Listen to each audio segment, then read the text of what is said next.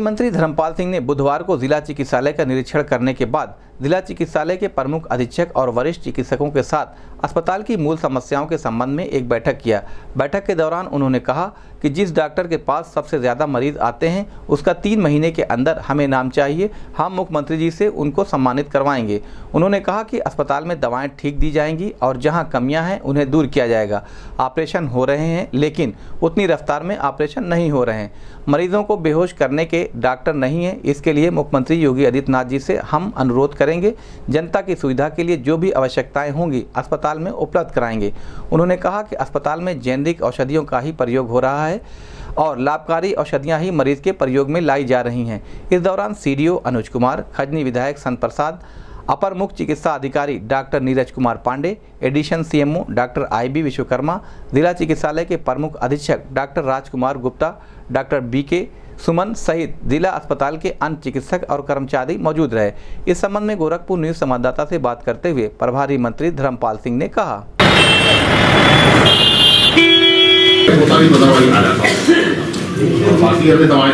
आज मैंने पढ़ा अखबार में अमर उजाला में था कि सांप का गोरखपुर का कोई व्यक्ति सांप काटने से मर गया ट्रेन में।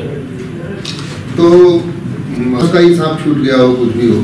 तो सांप काटने की दवा आवश्यक हर स्थिति में सांप काटने की दवा कुत्ता काटने की दवा और सांप काटने की दवा ये आवश्यक रूप से यहाँ उपलब्ध रहे उसको ज़रूर करा देना। कुछ ना कुछ सिस्टम उसको डेवलप करना। थोड़ा सा समझने के लिए हाँ वो जरा मैं समझ गया उनका उनका असर बहुत ठीक था भीड़ इतनी होती है कि उसको नाम ही लिखना कभी कभी कठिन रहता होगा तो दवा क्या क्या दी? या उसका कोई डुप्लीकेट कुछ भी रहे क्योंकि गरीब आदमी है उसको पत्ते वत्ते संभालता नहीं। और दवा निश्चित रूप से आप ट्रेन डॉक्टर हो सब बातें कभी ना कभी रेट कर सकती है। कोई दवा किसी को सूट नहीं करती है।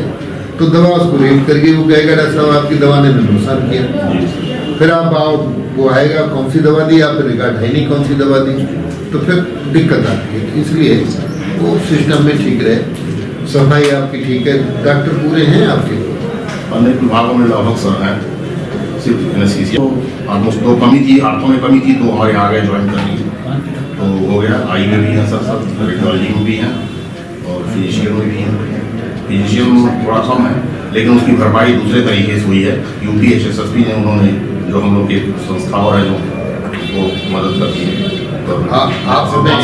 आप नहीं तीन महीने का डॉक्टर साहब। किसी भी विभाग का हो जिस डॉक्टर के सबसे ज़्यादा मरीज़ आते हो जिसके पास उसका नाम कि इस डॉक्टर के पास सर्वाधिक मरीज़ आते हैं उसका तीन महीने में हमें नाम चाहिए। हम माननीय मुख्यमंत्री जी से सम्मानित करेंगे। ये मतलब जो सबसे ज़्यादा मरीज़ देखता हो सबसे बढ़िया काम करता हो तीन महीने का रिकॉर्ड देना हम माननीय मुख्यमंत्री जी से सम्मानित करेंगे। आज हमने हम बताना नहीं चाह रहे लेकिन आपने प्रश्न कर लिया है।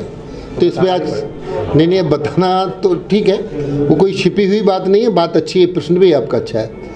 हमने डॉक्टर साहब को दवा देते देखा और डॉक्टर साहब स्वयं बड़ी गंभीरता से पेशेंट को देखते, देख रहे थे। सम्मान के नाते उठकर खड़े हुए, मैंने कहा, नहीं बैठिए, आप अपने पेशेंट को देखिए। उनके साथ में जो कंपाउंडर था फार्मासिस्ट जो भी होंगे, वो लिख रहे तो मैंने उनको पूछा, दवा के बारे में, इस मरीज़ को क्या दवा दी है? तो उनके पास था नहीं तो मैंने सुझाव दिया है। और मुख्य चिकित्सा अधीक्षक ने भी कहा है कि इसको सुधार करेंगे। तो दवाओं के बारे में जो आपने प्रश्न किया है, दवाएँ ठीक दी जाएँगी और जहाँ कमियाँ हैं, वो सुधार कर लिया जाएगा। नहीं, ऑपरेशन तो हो रहे हैं। हाँ वो उतनी रफ्तार में ऑपरेशन नहीं हो रहे हैं। जो डॉक्टर नशा सुंघाते हैं, वो नहीं है। मुख्य चिकित्सा अधीक्षक ने भी अवगत कराया है। माननीय मुख्यमंत्री योगी आदित्यनाथ जी से हम अनुरोध करेंगे और तत्काल यहाँ व्यवस्था कराने का काम करेंगे और जनता की सुविधा के लिए जो भी आवश्यकताएँ होंगी, अस्पताल में वो उपलब्ध रहेंगी। अस्पताल में जेनरिक औषधियों का ही प्रयोग हो रहा है। और औषधियाँ वो प्रयोग में लाई जा रही हैं, जो मरीज़ को बहुत लाभकारी, वैसे यूँ तो दवाओं की सूची तो बहुत हो सकती है। अभी मैंने देखा यहाँ कुछ पेशेंट ऐसे थे जिन्हें झटके पड़ते हैं। मतलब ज़्यादातर पेशेंट देखने को मिले जिन्हें दिमागी झटके पड़ते ये मैंने यहाँ नया देखा। मैंने सीएमएस को कहा है, इसका अध्ययन करो। कई मरीज़ ऐसे मिले कि उनको दिमागी झटके पड़ते हैं। तो उनको क्या दवा दी जाती है? लेकिन मैं दवा, जेनरिक दवाएँ, जैसे जाड़ा है, बुखार है, सर्दी है, नमोनिया है, ये इत्यादि दवाएँ कुछ ऐसी हैं, जेनरिक दवाएँ, जो लोग का, कफ का सिरप है।